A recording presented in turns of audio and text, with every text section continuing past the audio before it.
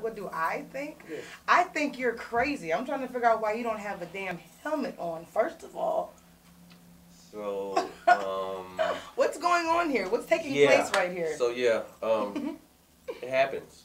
I was so caught up into what I was expecting the car to do because this right here, what you're looking at, is a test pass. Mhm. So on this test pass, I had expectations for a number, um, yeah, pretty much a number, which is the ET, which is the actual time you run in either the eighth or the quarter mile. So on this test run, you know, that's all I was really anticipating. I've never. This is this is a big moment. yeah. That's the first time I ever went down the track without a helmet on. And you were like looking at the playback, like, wait a minute, did I have my helmet on? The first time I ever went down the track without a helmet on. My mama gonna kill me. oh my god. But uh, So so let's talk about the whole leading up to the race because we have um, those those clips that we were just speaking on coming shortly the next um, pass. But when you first get into the car, let's walk them through the process so that way when they actually see it, they know what they're looking at. So you don't actually just get in the car and just drive straight down the track. You actually do what's called a burnout and you get the tires wet first. So let's talk about where the smoking stuff comes from. You know when the you're smoking stuff. the smoking from. stuff comes from. Yeah, You when get your tires wet.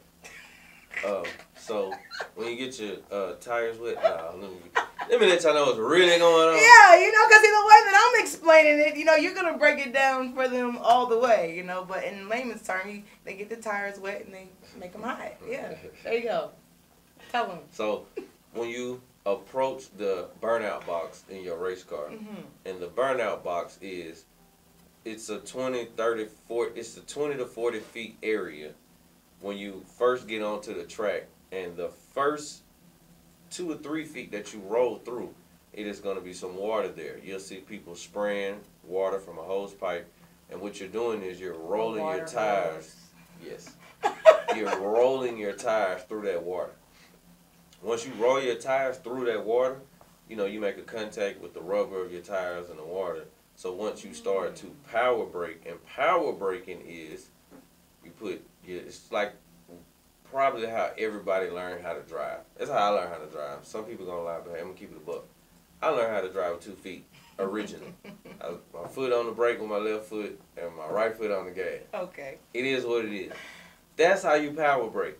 You take your left foot and apply it as hard as you can, and then you take your right foot and apply it as hard as you can to the gas pedal, and that then locks your back brakes up and allows you to create a a, a burnout, which you know is your tires moving at a power brake. Mm. So that's where the smoke comes from.